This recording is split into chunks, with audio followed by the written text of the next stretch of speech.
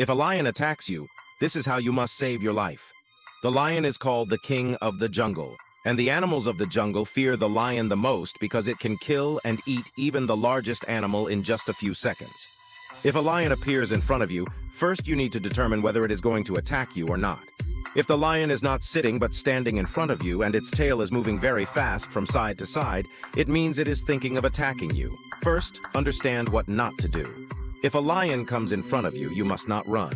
By doing so, you will show your back to it, making it think that attacking you is easy and it will catch you.